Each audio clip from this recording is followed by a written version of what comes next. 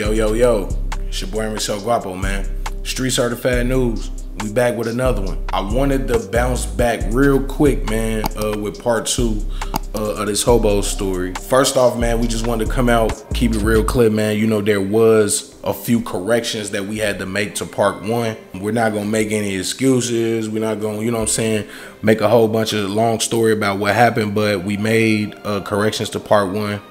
Um, at this time, part one is corrected and we will, you know, continue with the exact 100% right information in part two. We do stand by everything in part one. So I don't want, if this is the first time you're watching the video, I don't want you to feel like, oh man, they said they made a mistake in part one. We made a, a small mistake.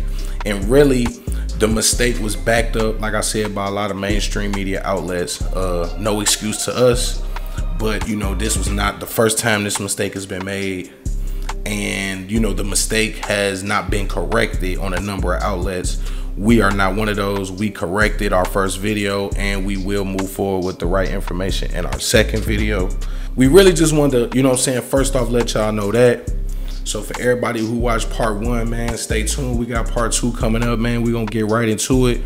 Um the hobos man chicago's deadliest gang part two uh, where we get into man who all snitched on the hobos man let's get right into it. On January 4th, 2017, a jury returned verdicts of guilty on all counts against all six trial defendants of the Hobo Street Gang. The jurors found the six men, including Hobo's leader Gregory Bowlegs Chester, Paris Poe, Arnold Armstrong Council, Gabriel Louis Bush, William Joe Buck Ford, and Derek D. Block Vaughn guilty of racketeering, conspiracy, and five murders. Following their January 2017 conviction, the five alleged leaders of the Hobo Street Gang would appeal. When the leadership of the Hobos appealed their conviction in late 2017, certain details about cooperating statements and testimony given at the original trial will be made public. In part one, we really wanted to, you know, break down for you guys the origins as well as, you know, the 10 year reign of the Hobo Street Gang um there was a lot. Once the trial started and like once these dudes had got indicted man there was like so much information that was out there. We really didn't believe we could put it all in the uh, into one part.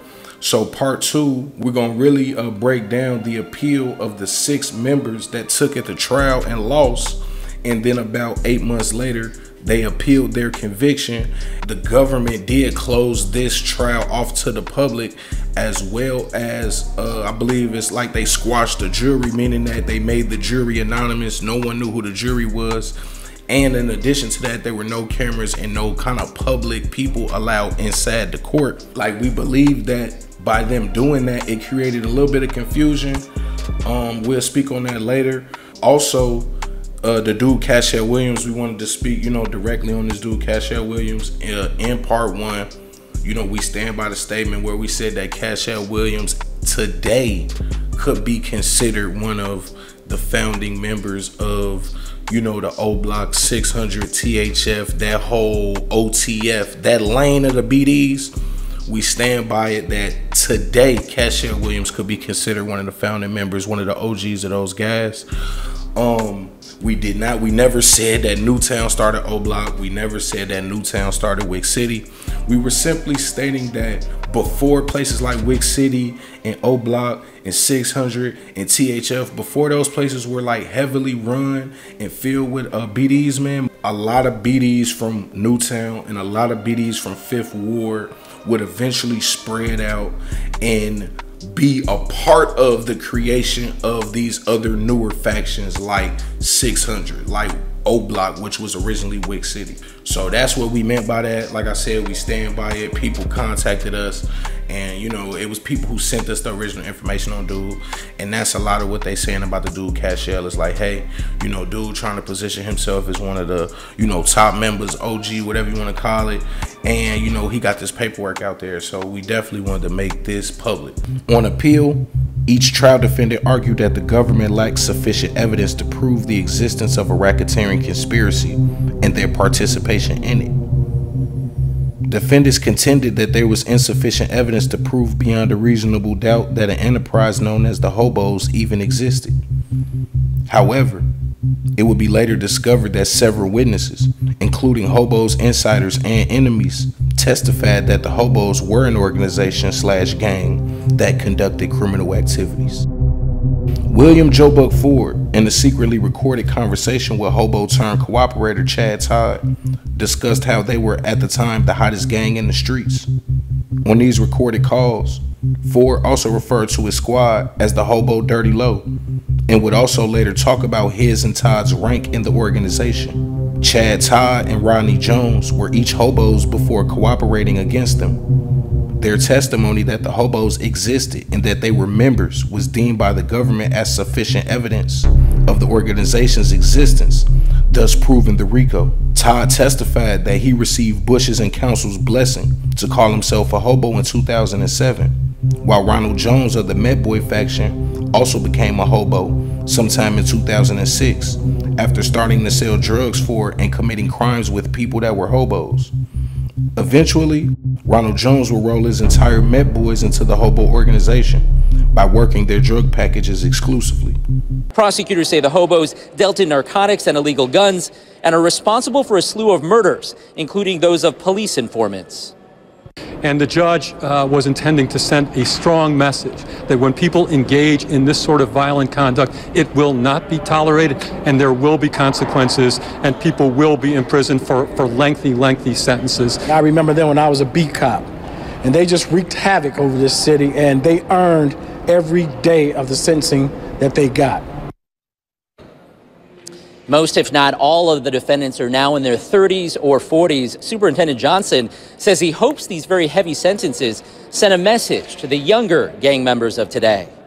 Live at the Dirksen Federal Building, Eric Horng, ABC 7. During the appeal of Chester, Poe, Council, Bush, Ford, and Vaughn, it was discovered that another hobo, Kenneth Bland, turned evidence against them when he testified that Fat Shorty, Alonzo Cole, was also one of the hobos, as were Arnold Council, Paris Poe, Rodney Jones, the Brown twins, and Chi, Gary Chester. Two additional men, Kevin Montgomery and Marcus Morgan, would also testify at the original trial, confirming their participation in crimes committed by the hobos. Though they ran in similar circles, the two men, however, would never become official members. In addition to lower level members cooperating against hobo leadership, mid level members such as Gary Chester and Byron Brown would plead guilty before the original trial, thus signing statements admitting to certain criminal activities with members that were still fighting their case i.e., what Gunna did to Young Thug, causing some to say Brown and Chi also cooperated. Enemies of the gang will also testify, including Courtney Johnson of Mickey Cobra, who testified that his gang was in conflict with a gang called the Hobos in 2007, and the aforementioned Cashel Williams, a member of the Fifth Ward faction of the Black Disciples. He testified that Fifth Ward and Newtown allied BD factions were in conflict with the Dirty Low and the Hobos in September 2007. Cashel Williams will also give first person witness testimony against the Hobo Street Gang when two of his friends, including BD leader Antonio Beans Blewett, were gunned down in a drive by shooting while leaving a funeral. Williams would be the third passenger in the car when his friends Antonio Beans Blewett and Gregory Slap O'Neely were shot and killed and Williams would testify that although he did not see the shooter, he did see the hobos on the scene after the shooting. In the end, witnesses from inside and outside of the group testified that the hobos were an association and an organization and gang. Many witnesses recounted the brutality and vicious nature of how the hobos did business. And with all of the statements from witnesses, cooperators, and those charged, combined with ballistic evidence connecting many of the violent crimes, Appeal Judge Chief Judge upheld the jury's original finding of guilty, though some hated them and some loved them. No matter what side you were on in the early 2000s, everyone in the streets feared them. Eventually brought down in its entirety by the federal government, the Hobo Street Gang in its 10 year run would go down as Chicago's deadliest gang. Appreciate y'all for rocking with us, man. It's your boy MXL Guapo. Street Certified News, man. The most reputable source for urban media, man. Hey, make sure you smack that like button, smack that subscribe button, man. Drop a comment. Let us know, man. Was you rocking with, You know what I'm saying? This story that we did on the hobos, man. Also, man, in the comments, man, let us know what other Chicago organizations slash gangsters, man, that you know I'm saying, you think we should do stories on. You know, we really don't like doing stories on like current stuff. So even though, you know, we did the O Block shit, man, I really didn't want to focus on like the government versus O Block. That's why we just really spoke on the cooperators, because you know they currently fighting their case. Um, we also wanted to say, man, um, RIP everyone you know, in this culture, drill culture, hip hop culture, whatever you want to call it, man. Um, sometimes you see people who pick sides. You know, they say might say RP this guy, but then they won't say RP that guy. We want to say RP everyone, man. RP King Von. RIP FBG Duck, man. RIP FBG Cash, man. RIP FBG Brick, man. RIP D Thing, man. You see what I'm saying? RIP all of these men um, we are not here to pick sides. We are here to report the news from a street perspective. Like I tell everybody, man, I grew up in Chicago my whole life. I was just one of them dudes who never had to pick sides. Some people know what neighborhood I'm from and know, you know, you might see me with certain guys and you might think I'm over there, think I'm over there, but I always been about one thing, man, and that's upliftment of my people and us getting some money. So I'm I felt like I was always able to do that with both sides, so I never got you know tied up in the bullshit. I will say, however, man, shout out the guys, man. People know who I'm talking about. I'ma always ride with my people, but I'ma always keep our reporting and street certified news, man. I'ma keep it neutral, man. We want to speak on both sides from both stories. You know what I mean? And I just wanted to put that out there. Uh, man, hey, we appreciate y'all, man. Love y'all for rocking with us, man. Road to 50K. Man, share the videos with your friends, man. We trying to get to 50K, man. I really want to do something special for you guys when we get there. I'll almost kind of like let you guys pick what that is.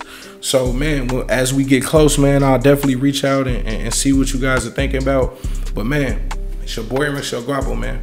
Street certified news, man. We love y'all, bro. We out.